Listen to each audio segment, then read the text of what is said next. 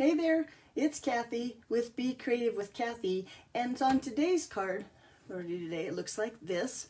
I'm going to show you how to do this shadow technique, which has been around a while. I think it's a really cool technique, but a friend of mine went to another class. She made a card. It inspired me to get the craft white ink out and try the um, shadow technique and so I thought I would share it with you.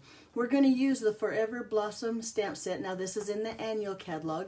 This stamp set's been around for a while and um, I thought it would be perfect for this technique so I'm going to use this great big um, blossom here. But I'm going to show you real quick what paper we need. So I'm going to use, let me grab it here. Um, early espresso, this is just a card base, eight and a half by five and a half, and I've scored it here at five and a fourth, so it's ready. I have two pieces of basic white. These are both five and a fourth by four. I have a piece of crumb cake here. This is, must be five by three and three fourths. You get my layers here, right? And then of course I just have a scrap of that early espresso. And we're gonna start with that scrap of early espresso and some Versamark ink. Let me show you what I noticed this morning. So I've had this stamp set for quite a while. This stamp set's been around. It's a really pretty stamp set. You got to have it, right? And I thought, well, I did this one, the Always and Forever, probably because my son's getting married pretty soon and I got a little bit of wedding bliss in my mind. But um, I thought for this card now, I'm going to use this friend. So I opened up my stamp set and I'm like, look, there's no friend stamp there. Well, when I was putting my stamps together, I missed one. Now where my sticker is, I have no idea, but isn't that funny? I guess I've never used the little friend stamp, so he doesn't have a sticker, but I just thought that was funny, and I'd share that with you. But I'm going to just take, now this is an oval, but it's just a scrap I had in my, my drawer here, and I'm going to just take that friend, Ooh, you know what else I'm going to do, though? Because I live in Denver, Colorado, and it's dry and staticky right now. So I'm going to take a dryer sheet here, and I'm going to just rub it on my paper, try to get some of that static and that dryness off so that my embossing powder only sticks to my um, Versamark ink here. So I'm going to ink up my little friend, and it's very delicate. So when I put it down, I'm going to set it there and just apply a little bit of pressure to the center and that's how you use those little itty bitty stamps. Now let's see if I, I think I did okay. Let's see if how it um, gets embossing powder. I'm gonna have to do it again because like I said, sometimes those itty bitty stamps like that, and I should have, I don't think I got it flat. Let's see. Nope. Look, looks pretty good, right? I'm gonna heat it up and see what happens. And I should have turned my heat gun on here. But like I said with that, this is the white embossing powder. I keep mine in a little tub like this from the basic embossing powders. They come in a three or four pack now. But let me just heat that. I think I am going to do it one more time because I think I kind of missed the top. Although that looks pretty good. Let me do it one more time. Get that dryer sheet out again. I'm going to do it over here. Okay, and this time I'm going to make sure that I apply pressure right in the center. Darn little stamps. Put that like that, hold that in there. Let's see if I did better that time. Nope, I think it's going to be about the same, so maybe I did get the top, and that's just how the stamp looks. I do have a little bit of embossing powder here that I don't want. I'm going to get that off with a paintbrush. Okay, let's try that heat gun again.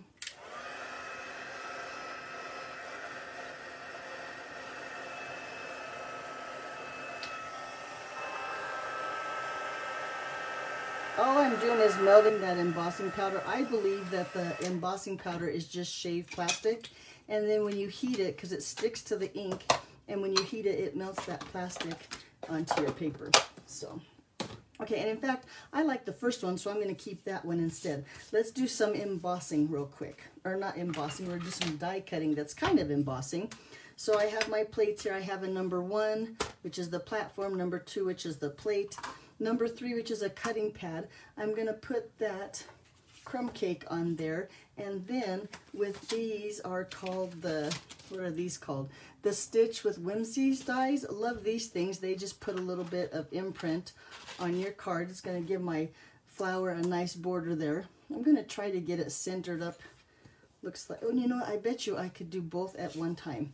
Yeah, looky there. Because then with my switch Stitch So Sweetly dies, I'm going to take the smallest little piece here and set that on my friend. Looks like that. And now since the Stitched So Sweetly dies, can't say that fast, has that stitching around it and so does the um, Stitch Whimsy die, I think they're going to coordinate really well together. So let me get this where I want it. And then I'm going to just hold it down with some washi tape. Bring in my machine.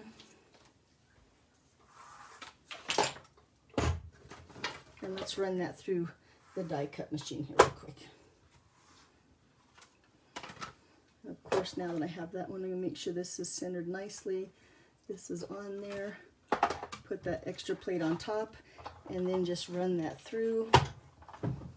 And I think you're really going to like the border that gives this paper. So if you have, you know, if your paper looks kind of bland and plain, you could just add this little border from these um, Stitch Whimsy dies.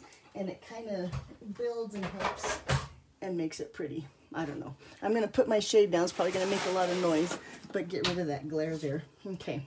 So here's, look how pretty that is with that stitching all around. And then here is my friend piece cut out there. We'll put all that away. We're all done die cutting.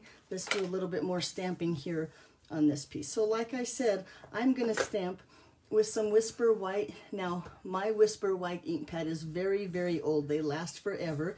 Nowadays, when you buy one, you get an empty or a clean stamp pad and then you get a white refill that you have to put all over just be patient I like to take a spoon a plastic spoon and with the back of it kind of spread the ink around and I think that helps it to get evenly on your ink pad but it just takes a few minutes you got to take your time and really ink up or put the ink onto the ink pad mine's already ready to go so I'm going to ink up that big image here and I'm going to make sure there's lots of craft white ink on there and then I'm going to position it. I got some shreds of paper here. Okay, over here so I can see.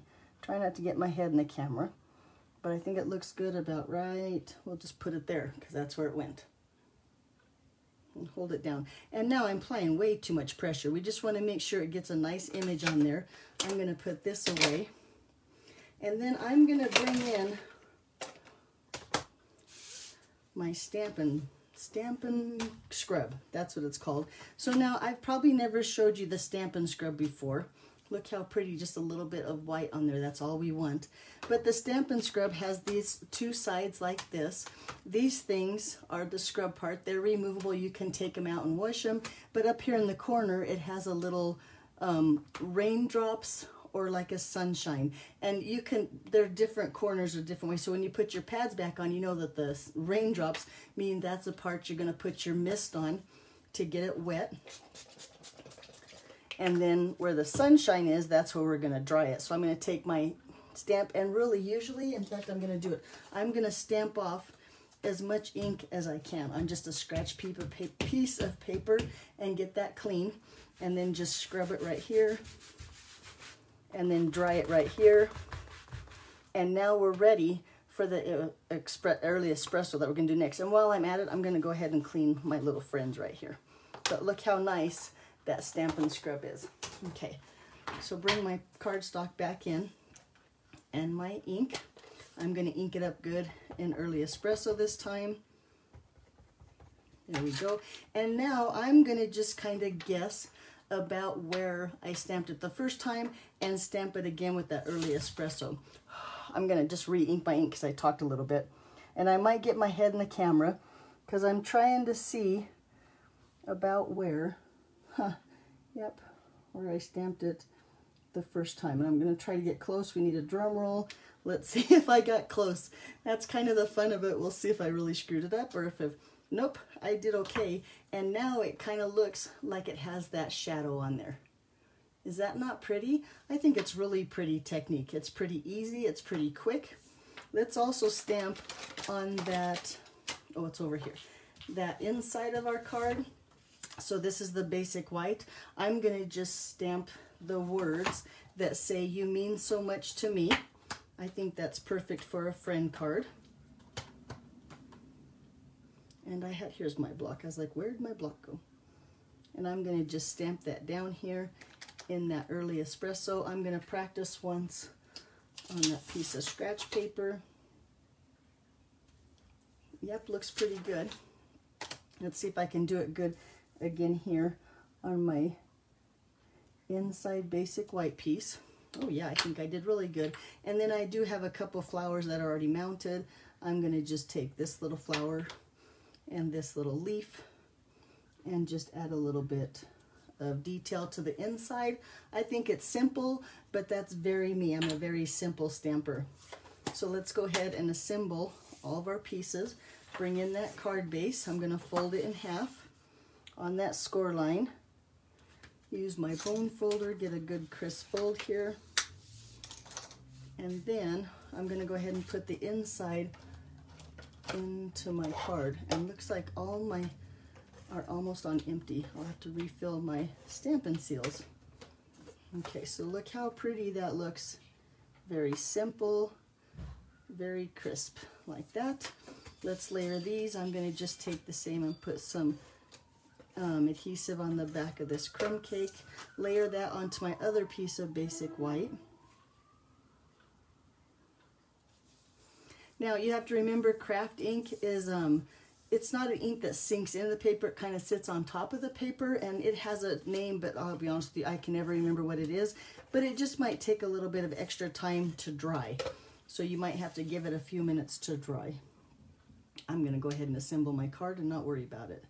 It also works with embossing. So if you wanted to, I could have stamped my friend in the white craft ink instead of the Versamark and put the white embossing powder on it, it would have worked just the same. Let's take this little friend here and take a dimensional or two.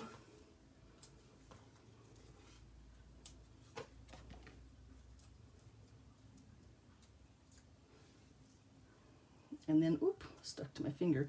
I'm gonna set that little friend, look how cute that is. I think that's crooked. now, there, that's better. Now it's not crooked. Look how cute that card is. But one more thing we need to do to spruce it up just a little bit, I'm going to just take my basic pearls here. I'm going to use my take a pick tool and just slide and put the little tiny pearl on the inside of each flower here.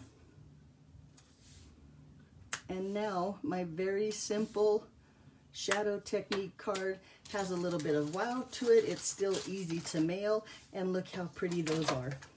So where'd my other one go? My original one. He's gone. I lost him in the in the piles. Here he is. So there you go. So I hope you'll give this um, shadowing technique a try. I think it's really fun. It adds a little bit of wow to your card and um, gives them a little bit of touch. All right, I'll have the measurements on my blog, becreativewithkathy.com, along with the supply list. If you ever need any um, um, Stampin' Up! products, you can shop from there at my online store. Thanks for watching, and I'll see you back here Friday for the final Christmas project. Talk to you then. Bye-bye.